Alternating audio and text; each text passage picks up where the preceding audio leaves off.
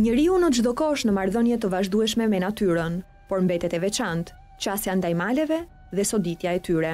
Ndërsa ndalemi te këto, nuk mund të mos ndjejmë mistikën apo shenjtërinë që ato kanë. Në lëmin e madh të informacioneve apo dhe ngjarjeve historike, rrjedha na çon në selinë e shenjtë të kryegjyshatës botërore bektashiane, Duket se aty, disa pyetje marrin përgjigje.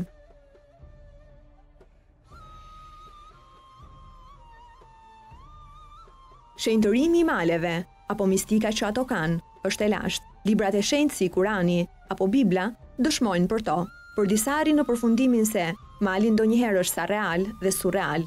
Është e vërtetë që malet janë të shenjta? Se shenjtorët kanë ndenjur në to, siç e përmende ti me shpellën e Hirës, ku profeti Muhamed, me urdhër të Zotit, u fut atje, jashtë qendrave të banuara, për të marrë porositë për të zbatuar Kuranin e madhërishëm, duke e kënduar ai, edhe e këndonte, ndërsa e mësonte përmendësh edhe ua shprehte njerëzve.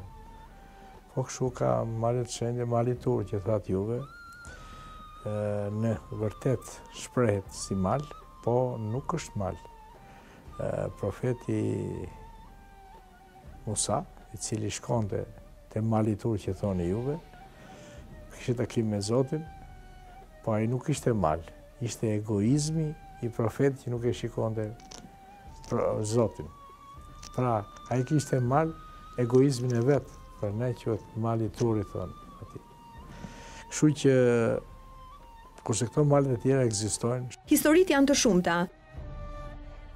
Shpella e Hirës, mali i Abdullah Musa Sultanit, mali i Tomorit, Mali i Sari Saltikut, Shpella e Ballëm Sultanit, pra gjithë këto vende të mira, janë vende ku njerëzit shkarkohen nga energjitë negative për të marrë energji pozitive. Në këto vende bëhet dhe kurban.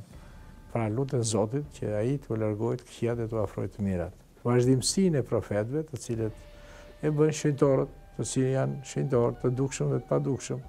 Këta udhëheqin njerëzimin gjatë asaj periudhe që nuk ka profetësi. Dhe këta e kanë vendin e tyre kudo që të venë ata, është vend i shenjtë. Se ata janë shkrirë te Zoti, edhe shenjtorët me fuqinë që kanë ata, me arritjet që kanë bërë pastrimin e shpirtit të tyre, Janë shkrirë te Zoti dhe Zoti po plotëson të gjitha dëshirat dhe nevojat. Dhe profeti Muhamed ka një hadith që thotë kur ta ndjeni veten ngushtë, iu drejtoni vendeve të mira. Ata e dinë hallin tuaj. Vendi i shenjtë ka një histori. Por ne u ndalëm në dy prej tyre, në malin e Hërkas në Haxhi Bektash Veli dhe malin Abdall Musa Sultan, të dy me vendodhje në Turqi. Mali i Hërkas ka ngelë se ai ka djegur një dru dhe e ngjeu hërkën e tij, e bëri pluhur dhe e shpërndau që ai pyll është i pambarueshëm. Pra i tregoi forcën e Zotit dhe forcën që ka njeriu për të vepruar. Pra ata ishin njerëz si ne, të cilët me pastërtinë e shpirtit të tyre arritën grada të larta. Prandaj ajo ka ngel mali i Hërkas. Po kështu Abdall Musai, i kërkuan ujë, ua dha ujin. Edhe i tha, për të mbajtur premtimin, lini një haraç. Ata s'e lanë haraçin. Edhe një herë, dy herë, dhe e ndaloi. Verës ia jep krahut tjetër që e mbajti premtimin, dimrit ua çon këtyre tjerëve. Edhe vendi ynë është me histori të shumta për malet që i konsiderojmë të shenjta, si mali i Tomorrit, e duket se bektashinjtë e kanë ndjerë pikërisht këtë shenjtëri. Po kështu themi Tomorri, është Abaz Aliu, ai ka shenjtëruar malin. Po kështu është Sari Salltiku, pse ngeli? Se ai shpëtoi një vajzë të cilën do ta hante kuçedra, e shpëtoi. Edhe i dha fuqi atij mali, siç themi ne në historinë e Skënderbeut. Krujë qytet i bekuar, prite prite Skënderbenë, po të vjen si pëllumb i shkruar të shpëtojë mëmëdhenë. Ku ishte bekuar Kruja, po ishte Sari Salltiku.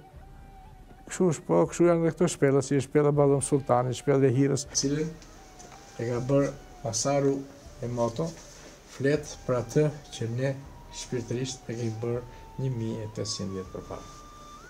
Pra, atë që ne i këndojmë njerëzve ujët, këtu tregohet fuqia e vërtetë e ujit.